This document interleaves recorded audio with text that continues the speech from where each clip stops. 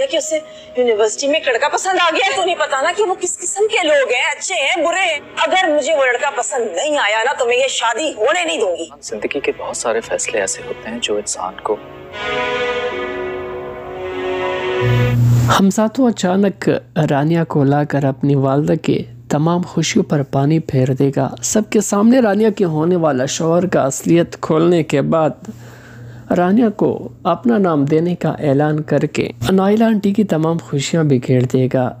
इस फैसले पर हमजा के साथ निहाल भी डटकर खड़ा रहेगा। साजदा तो पहले ही इस फैसले के हक में थी, लेकिन मजबूरन नाइला की बातों की वजह से अपनी बेटी को किसी